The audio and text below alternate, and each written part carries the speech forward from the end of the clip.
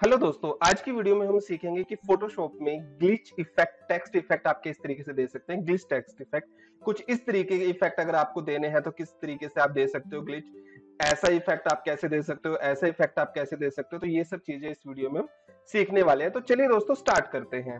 तो सबसे पहले हम एक न्यू फ़ाइल लेते हैं और न्यू फ़ाइल लेने के बाद मैं यहाँ पे एच डी क्वालिटी में 1920 बाई 1080 पिक्सल पे लेता हूँ लैंडस्केप मोड में और रेजोल्यूशन 72 रखता हूँ एंड मैंने किया क्रिएट क्रिएट करने के बाद मैं सबसे पहले क्या करता हूँ, यहाँ पे एक सॉलिड कलर लगा देता हूँ और सॉलिड कलर मैं कुछ ब्लैकिश में कर देता हूँ, कुछ इस तरीके से.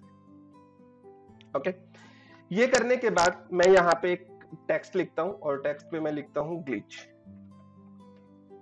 ओके और इस टेक्स्ट को मैं यहाँ से इसका साइज़ को इंक्रीज करता हूँ. और इसको मैं सेंटर में यहाँ पे प्लेस कर लेता हूँ।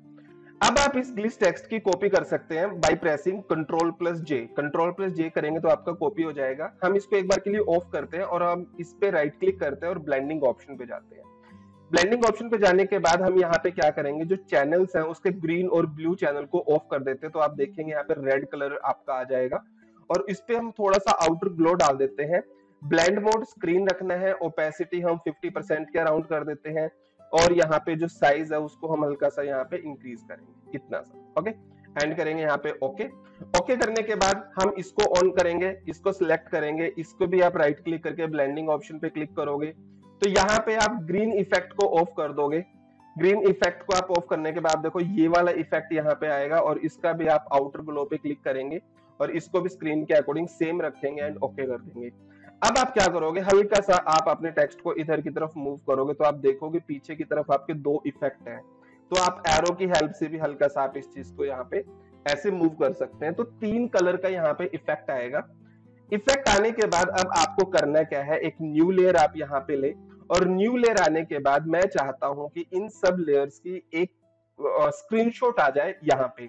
या तो आप इन लेयर को मर्ज कर सकते हैं, या फिर अगर आप चाहते हो कि इनको बाद में यूज़ करना और एक स्क्रीनशॉट आप इस चीज़ का ले सकते हो स्क्रीनशॉट के लिए आप प्रेस करें shift control plus alt and plus E shift control alt shift E आप प्रेस कर सकते हो control shift alt plus E okay तो यहाँ पे इसकी एक, आपका देखेंगे यहाँ पे एक लेयर आ जाएगी इसके स्क्रीनशॉट को लेके, अगर आप मूव करोगे, यहाँ पे अगर मैं इसे ऑफ़ करता हूँ सबको तो आप देखोगे एक लेयर आ जाएगी, इसकी एक स्क्रीनशॉट आ जाएगा बेसिकली अब हम इस स्क्रीनशॉट पे वर्क करेंगे। तो इस पे क्या करेंगे हम? यहाँ पे अब हम रेक्टेंगल टूल लेंगे और एक रेक्टेंगल हम यहाँ पे एक बनाएँगे। इसको बनाने के बाद मूव टूल पे क्लिक करेंगे और इसको हल्का सा मैं इधर की तरफ़ मूव कर देता हूँ। शिफ्ट प्रेस करके स्ट्रेट मूव करना है। आप हल्का सा यहाँ पे मूव करेंगे। कंट्रोल डी डिसलेक्ट करने के लिए। पीछे का देखो यहाँ पे दिख रहा है क्योंकि ये मैंने ऑफ़ किया हुआ है तो मैं इसे ऑन करता हूँ यहाँ पे।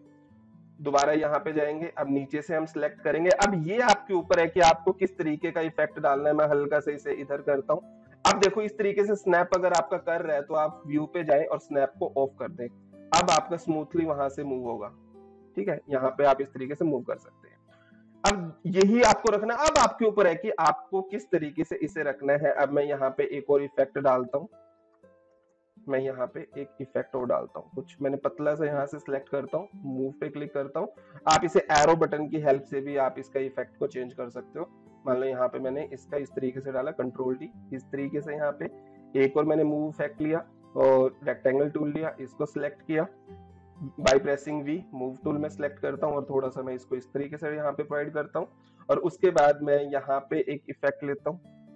और इसको भी मैं मूव करता हूँ और इसको मैं भी इस तरीके से यहाँ पे मूव कर देता हूँ। कंट्रोल डी तो आप देखेंगे, एक प्यारा सा इफ़ेक्ट आपका ग्लिच का आ जाएगा। अब ये आपके ऊपर है कि किस तरीके से आप इसे और भी एनहेंस करते हैं, अपने तरीके से और कितने इफ़ेक्ट आप इस तरीके से यहाँ पे प्रोवाइड कर सकते हैं कैसे कैसे आप इस चीज़ को यहाँ पे प्रोवाइड कर सकते हैं। तो जो भी आप यहाँ पे यूज़ करेंगे, वो आपका माइंड होगा, कैसे आप क्रिएटिविटी आपकी होती है तो किस तरीके से आप इस चीज़ को कर सकते हो। तो ये था ग्लिच इफ़ेक्ट कैसे आप ग्लिच इफ़ेक्ट लगा सकते हो अपने ऑब्जेक्ट पे। अपने टेक्स्ट पे लगा सकते हो, आप अपने फ़ोटो पे लगा सकते हो। फ़ोटो पे कैसे ग्लिच इफ़ेक्ट लगाते हैं, वो भी मैं आपको आगे आने वाली वीडियो में बताऊँगा। तो आशा करता हूँ वीडियो अच्छी लगी होगी। अगर वीडियो अच्छी लगी तो प्लीज़ वीडियो को लाइक करें शेयर करें और कमेंट करना बिल्कुल मत भूलें। Thank you so much